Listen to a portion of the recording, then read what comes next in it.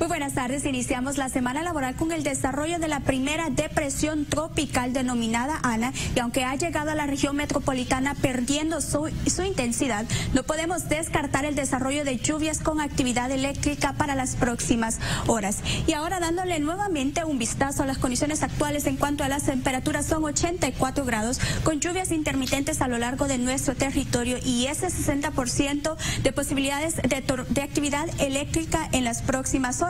Ahora contaremos con temperaturas frescas en las próximas horas, ya que rondarán en los rangos de los altos 60, leves 70 grados.